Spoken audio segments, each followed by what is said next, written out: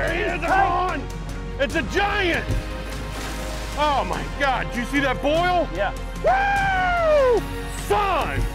Unbelievable! Catching bluefin tuna! Oh, right there! Oh my gosh! Look at that thing. It's a flounder! No, it's a bluefin! Is that not the oddest looking fish? This is gonna be fun today, man. This is gonna be fun.